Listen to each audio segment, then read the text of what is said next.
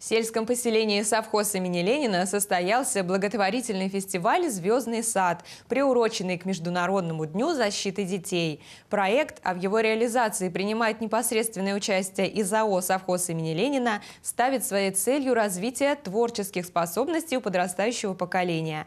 Особенность этого мероприятия в том, что вместе с отечественными звездами эстрады на сцене выступают дети, в том числе и с ограниченными возможностями.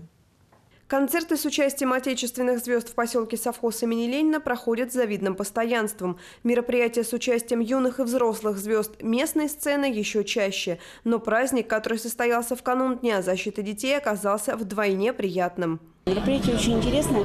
Это мероприятие, в рамках которого дети-инвалиды, э, дети, дети с ограниченными возможностями, дети, которые не имеют проблем со здоровьем, э, участвуют в одном и том же мероприятии, участвуют вместе со звездами российской эстрады. Благотворительный фестиваль «Звездный сад», который, кстати, в поселке проходил в третий раз, был создан для того, чтобы дарить добро тем, кто в этом нуждается больше всего, самым маленьким и самым незащищенным. А для юных артистов это еще и первые аплодисменты, первое признание их таланта. Когда то, чем ты занимаешься, это признано неким небольшим сообществом или каким-то большим универсумом, это подталкивает тебя на создание каких-то новых уже произведений, вещей, подготовку новых номеров. Поэтому вот такая оценка как бы небольшая или подчеркивание вот этой важности того, что ты делаешь, и качества того, что ты делаешь, мне кажется, детям это важно.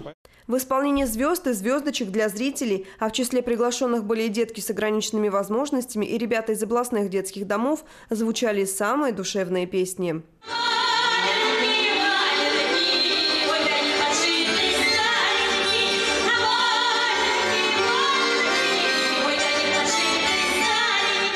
Марина Варламова из города Видно старается по возможности разнообразить жизнь своей дочери Оли, инвалида-колясочника. Далекие поездки им не под силу, а вот такие мероприятия очень кстати. Ну, нашу жизнь как-то хочется раскрасить и преобразить, и стараемся посещать разные мероприятия. Очень приятно, когда в таких мероприятиях участвуют звезды, известные люди, которые появляются на экранах телевизора. Вот, и мы стараемся сделать фотографии Ольгины вместе с ней, с этими звездами. У меня есть две таких вот фотографии, с кем я очень дорожу, как бы, да.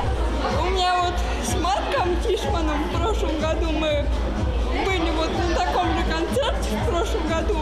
И вот с Аристархом Бельнисом, раз Олина коллекция пополнилась еще одним фото с Валдисом Пельшем. Отличный подарок на праздник. И получается, когда ты даришь ребенку радость, то для тебя это тоже очень хорошо. Вот мы на этом и сошлись с организаторами, которые э, сюда детей возят и звезд приглашают.